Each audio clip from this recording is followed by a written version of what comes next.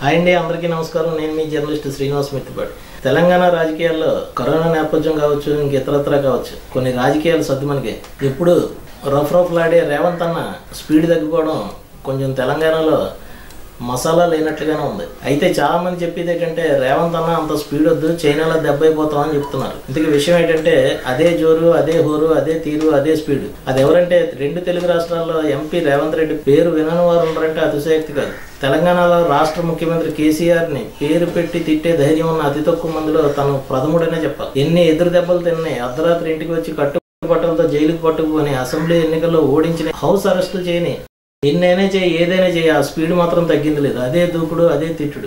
RTC కార్మికుల సమ్మె నేపథ్యంలో హౌస్ అరెస్ట్ చేసినప్పుడు ఇంటి ముందు పోలీసులను తప్పించుకొని Hollywood hero Tom Cruise cinema Mission Impossible తరహాలో బైక్ పై హైదరాబాద్ వీధుల్లో స్పీడ్గా నడిపిన తీరు ఆ వెనుక పోలీసులు చేజింగ్ ఒక అతను బైక్ నడుపుతుంటే రేవంత్ వెనక్కి కూర్చొని అందరినీ ముప్పు తిప్పలు పెట్టిన తీరు ఇప్పటికీ ప్రజలు మర్చిపోలేరు. ఇలాంటి సంఘటనలు ఎన్నో ఉన్నా తాజాగా కేసీఆర్ తనయుడు కేటీఆర్ ఫామ్ హౌస్ పై డ్రోన్ కెమెరా ఎగరవేశారనే నెపంతో మళ్ళీ ఆయన్ని జైల్లో వేశారు. ఇంతవరకు బాగానే ఉంది. అయితే రేవంత్ రెడ్డి ఒకసారి లోపలికి వెళ్ళగానే తెలంగాణ అంతా స్తబ్దుగా మారిపోయింది. ఒక రకంగా చెప్పాలంటే బోసిపోయిందని చెప్పాలి. ఆయనకి టీపీసీసీ పదవి ఇస్తానన్నప్పుడు ఆ సీనియర్లందరూ తనకి ఎలా ఇస్తారని అందరూ తెర ముందుకు వస్తారు మోకాలు అడ్డు పెడతారు. కానీ తన లోపల ఉంటే మాత్రం ఒక్కరు బాధ్యత తీసుకొని ప్రభుత్వాన్ని కేసీఆర్ని విమర్శించే సాహసం చేయరు ముందుకు రారు. ఈ ఇన్ని విమర్శలు ఉన్నాయి. కానీ ఆయనకి పదవి ఇస్తానంటే మాత్రం ప్రతి ఒక్కరు ముందుకు వచ్చి మోకాలు అడ్డు పెట్టడానికి ప్రయత్నిస్తూ ఉంటారు. ఇక్కడ చెప్పాలంటే కేసీఆర్ను ధైర్యంగా ఎదిరించే వాళ్ళు రేవంత్ రెడ్డి తర్వాత యువ తెలంగాణ పార్టీ అధ్యక్షుడు జిట్టాగ బాలకృష్ణారెడ్డి. ఆయన తెలంగాణ ప్రభుత్వం అవినీతి అమలుపై సదస్సులు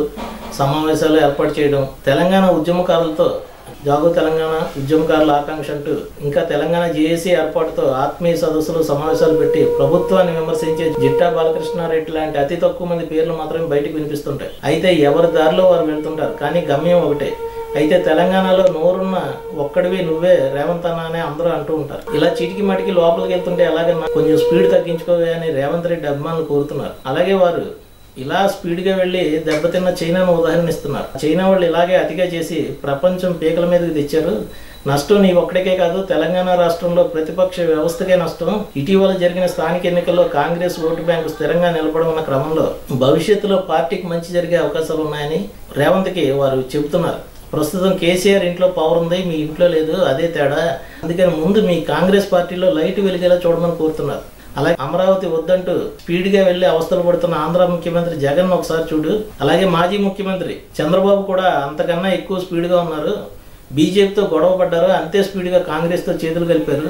ఇప్పుడు అమరావతి అంటూ విమర్శలు పాలవుతున్నారు. గతంలో వరదలు వచ్చి ఇసుక తీయలేని పరిస్థితులు ఉంటే ఇసుక దొరకడం లేదని ఆ రోజు హడావుడి చేశారు. ఇంగ్లీష్ చదువులపై రాద్ధాంతం చేశారు. ఇలా ఒకటి కాదు.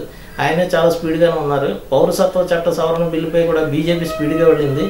ప్రపంచాన్ని వణికిస్తున్న కరోనా కూడా అంతే స్పీడ్గా ఉంది. స్పీడ్గా ఉంటే ఫలితం ఎలా ఉందో చూస్తున్నావు కదా. అందువల్ల రేవంత్ అన్న కొంచెం స్పీడ్ తగ్గించి ఫుల్ లెంగ్త్ సీన్లో ఉండమని అభిమానులు కోరుతున్నారు. సీన్లో ఉంటేనే స్క్రీన్ పై నిండుగా కనిపిస్తావు కదా. అప్పుడే కదా జనం వచ్చేది చూసేది అని చెప్తున్నారు. Thank you